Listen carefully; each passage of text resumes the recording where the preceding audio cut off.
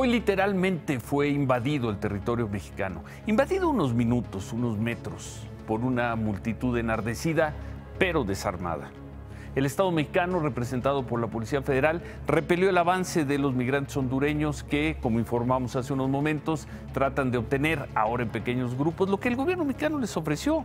Desde hace unos días les ofreció escucharlos y revisar caso por caso si pueden seguir adelante rumbo a su tierra prometida, los Estados Unidos, o si pueden quedarse en México como refugiados. Los que no tendrán que volver a Honduras.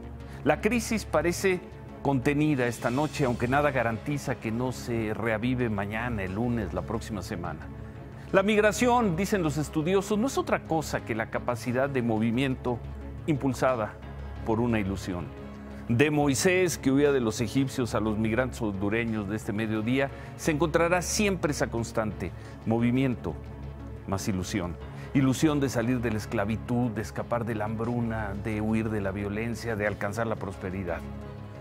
Lo de hoy ha sido insólito. México no lo conocía en esa dimensión.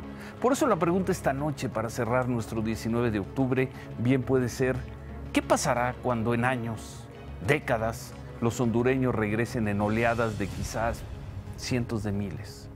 Esos hondureños, que muy probable, sean gente de bien.